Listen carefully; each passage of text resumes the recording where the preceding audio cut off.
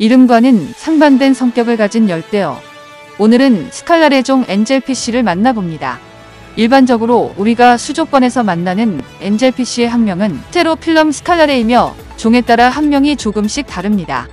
오늘 소개해드릴 스칼라레 종에는 대표적으로 실버 엔젤피쉬가 있으며 거의 모든 개량종 platinum, zebra, 삼색, half black, marble, golden 등의 엔젤피쉬는 모두 스칼라레 종입니다. 야생 개체의 주 서식지는 남미의 거의 모든 지역으로 페루, 브라질, 가이아나, 수리남, 콜롬비아 등 아마존강의 지류와 그 이외의 지역에서도 발견되는 흔한 물고기입니다. 야생 개체와 인공 번식 개체 간 외형적 차이가 크지 않기 때문에 스칼라레 종은 대부분 동남아나 유럽에서 대량으로 인공 번식되고 있으며 국내에 유일하게 수입되는 야생 스칼라레 종으로는 페루 나나이강에서 채집되는 일명 페루알텀, 리오 나나이 엔젤피쉬가 되겠습니다. 리오 나나이는 별도의 개별 영상으로 추후 찾아옵니다. 대부분의 서식 지역이 정수역 그러니까 물의 흐름이 빠르지 않은 지역입니다. 2023년 기준 국내에 유통되는 스칼라레 특히 silver, zebra 엔젤피쉬는 국내 양식장에서 인공 번식된 개체가 30% 내외이며 동남아 등에서 인공 번식되어 페루알텀이라는 이름으로 둔갑해 수입되는 개체가 70% 정도입니다.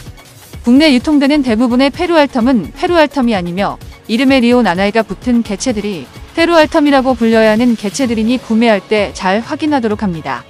수조의 중층에서 주로 생활합니다. 행동이 느려서 유어기에는 얼핏 무리지어 다니는 것 같이 보이지만 시클리드과답게 영역성이 있어 성어급이 되어 갈수록 마음이 맞는 한 두 마리 정도만 같이 붙어 있고 나머지는 일정 범위 안에 들어오지 못하게 합니다.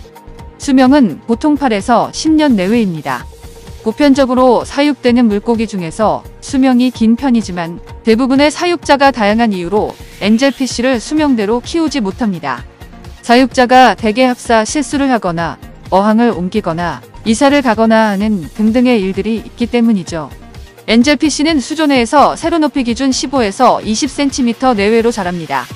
움직임이 크지 않고 세로로 커지는 종이기 때문에 가로 길이보다 높이가 더욱 중요합니다. 최소 높이 45cm 이상인 수조에 사육하는 것이 좋습니다. 수온의 적응폭이 넓은 편으로 24도에서 30도 내외의 온도에서 사육합니다. 대부분 인공 번식된 개체들이 유통되기 때문에 pH는 크게 상관없으나 약산성 6에서 약알칼리성 7.5 정도를 가장 선호합니다. 잡식성 어종으로 먹이 종류를 가리지 않고 다 먹습니다. 건조 사료를 주식으로 하되 가끔씩 냉동 장구벌레 등을 주면 더욱 건강하게 사육 가능합니다. 일반적인 커뮤니티 종들과 어려움 없이 합사 가능하나 새우나 입에 들어갈 수 있는 크기의 소형 어종은 엔젤피쉬가 커감에 따라 먹이가 되기 때문에 각 생물의 최대 크기를 고려해서 사육하도록 합니다.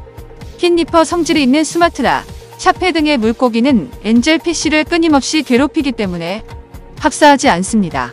쌍만 맞으면 어렵지 않게 번식이 가능합니다.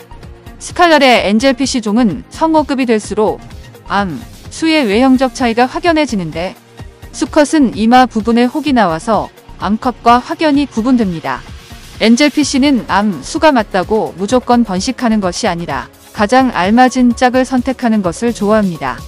유어기 때부터 여러 마리를 사육해서 자연스러운 짝을 찾도록 하거나 수족관에서 성어급 개체를 데려올 때는 쌍 행동을 하고 있는 개체들로 선택하면 번식의 성공률이 더욱 높겠습니다. 애니몰로 물생활 백과사전 스칼날의 엔젤피시 편이었습니다. 사육 정보가 궁금한 종에 대해 댓글로 달아주시면 우선적으로 영상을 만들겠습니다. 시청해 주셔서 고맙습니다.